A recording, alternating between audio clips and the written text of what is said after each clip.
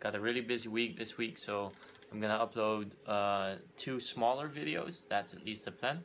Um, I'm working on one right there, and I'm hoping to have another one ready for you guys at the end of this week. So enjoy.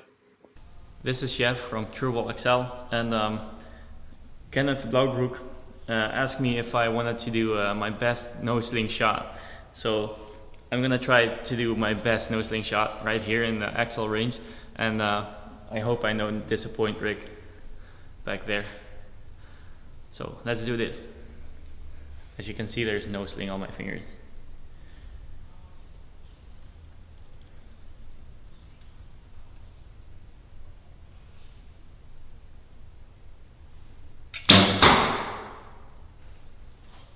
How was that? I'll, I'll cut it and we'll, I'll put